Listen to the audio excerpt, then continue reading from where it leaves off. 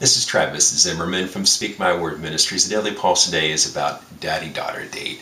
And Elizabeth came up to me the other day and said, Daddy, I want to go on a date with you. So we put it on the calendar, and, and wow, it wasn't our first date, but we want to do it more regularly. And what a blessing to be able to spend time with Elizabeth and just talk to her about her classes and where she sees herself going and her thoughts on life and about nothing at all in some cases. And, you know, I, I go to the scriptures, Psalm 144, verse 12.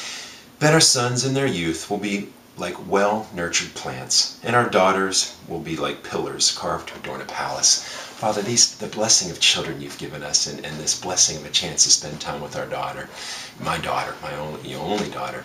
Father, I, I pray that we can continue to have those times together. I want to encourage you, if you have sons or daughters, to spend that one-on-one time with them because it's those moments they're going to remember. You know, there's there, you know, there's there's the grind of life, but of course there's going to be highlights and great things to, to look forward to. And that daddy-daughter day was something we definitely both enjoyed. Thank you, Jesus, for it. In your name, Lord. Amen.